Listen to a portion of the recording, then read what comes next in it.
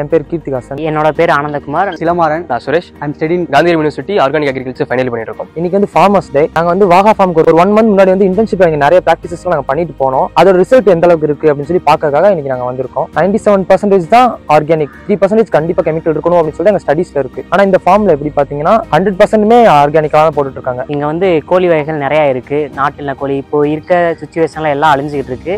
ஆனால் எல்லாமே பாதுகாத்து வச்சிருக்காங்க. பாம்பு இதெல்லாம் கண்ட்ரோல் பண்றதுக்காக வான்கோழி கோழி வகைகள்ல கடக்நாக்ன்ற பிரீடு வந்து சாயில் இம்யூனிட்டியை இம்ப்ரூவ் பண்றதுக்கு கோழியிலுமே நிறைய breed வச்சிருக்காங்க. இந்த மாதிரி நாட்டின மாடுகள்லாம் நான் வந்து தியரியா நிறைய படிச்சிருக்கேன். பட் ப்ராக்டிக்கலா எங்கேயுமே பார்க்குற வாய்ப்பு கிடையாது. இங்க ஃபுல் அண்ட் ஃபுல்லி ப்ராக்டிக்கலா எல்லா மாட்டு இனங்களையும் இப்போ வாட்ச் பண்ற மாதிரி இருக்கு. மற்ற கலப்பின மாடுகள் பால் அதிகமா இருக்கிறதையும் நம்ம நாட்டு மாடு கம்மியா இருக்கிறதையும் குவாலிட்டி அதிகமா இருக்கிறதையும் நான் இங்க தெரிஞ்சுக்கிட்டேன். அப்புறம் இங்க இருந்து வேஸ்ட் ஆகுற மாட்டு கோமியம் சாணம் இதெல்லாம் வந்து என்னன்னா எருவா யூஸ் பண்றாங்க வயலுக்கு. எங்களோட முயற்சியை ஒரு விதையாக்கி வாகா நேச்சுரல்ஸோட ஹெல்ப்போட நாங்க இங்க வெர்மி கம்போஸ்ட் பெட் ரெடி பண்ணோம். ரெட் பாம் யூஸ் பண்ணி எங்களோட முயற்சியை அப்படியே விடாம ஆஹ், எங்களோட முயற்சிக்கு ஒரு நீர் ஊற்றி அந்த வெர்மி கம்போஸ்ட் பெட்டை ரெடி பண்ணி ஃபுல் அண்ட் ஃபுல் நாங்கள் ஒரு டூ கேஜியில் ஸ்டார்ட் பண்ணதை இவங்க ஒரு டென் கேஜி வரைக்கும் கொண்டு வந்து வச்சிருக்காங்க. இங்கே கிடைக்கிற வெர்மி இவங்க ஃபார்மில் யூஸ் பண்ணுறதால நேச்சுரல் மாறாம லைஃப் சைக்கிள் அப்படியே டேர்ன் ஆகுது. நாங்கள் தியரியாக பார்த்ததை ப்ராக்டிக்கலாக இம்ப்ளிமெண்ட் பண்ணி வச்ச வாகாக்கு தேங்க்ஸ் விவசாயம் என்பது வியாபாரம் அல்ல வாழ்க்கை முறைன்னு நம்மால் வரையா சொன்னதை பின்பற்றிட்டு வர எல்லா விவசாயிகளுக்கும் விவசாய தின நல்வாழ்த்து